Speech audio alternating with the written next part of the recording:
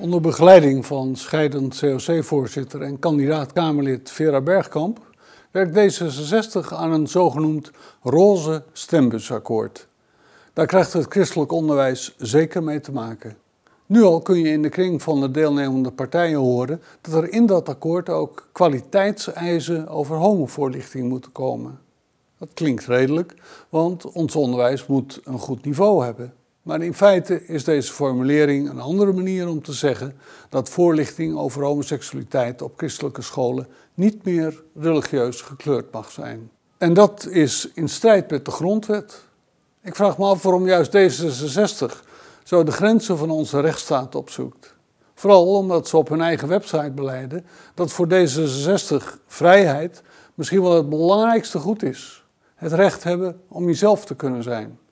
Mag dat alsjeblieft ook blijven gelden voor de onderwijsvrijheid? De tweestrijd bij de komende verkiezingen voor mensen die op inhoud gaan kiezen, gaat wat mij betreft daarom niet tussen SP en VVD, maar tussen de ondemocratische seculiere dwepers van D66 en de christelijke vrijheid.